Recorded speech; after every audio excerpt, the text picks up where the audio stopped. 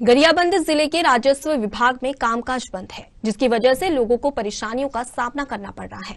नायब तहसीलदार और तहसीलदार के दफ्तरों में ताले लटके मिले। दरअसल कुछ दिनों पहले रायगढ़ क्षेत्र के राजस्व विभाग के अधिकारी, कर्मचारी और वकीलों के बीच किसी बात को लेकर विवाद हो गया, जिससे मारपीट का घटना सामने आई।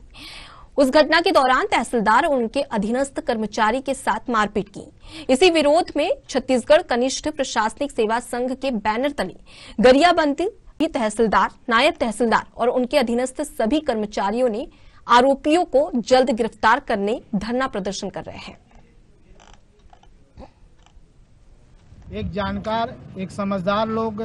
जब इस इस प्रकार से खुलेआम ऑफ़िस कार्यालय में जाकर के दादागिरी कर रहे हैं इसके विरोध में आज हम लिपिक संघ भी अधिकारी, तहसीलदार साहब के लोगों के साथ में हैं और जब तक के वे जब तक के गिरफ़्तार नहीं होंगे, तब तक के हम इनके साथ रहेंगे हम एक मंच में आएँगे और इस लड़ाई को हम लड़ने को तैयार हैं। में जो असंवैधानिक रूप से हिंसात्मक घटना हुई है, लिपिक साथी, वृत्ति साथी, हमारे नायब तहसीलदार तहसीलदार, एसडीएम ऑफ़िस में घुसकर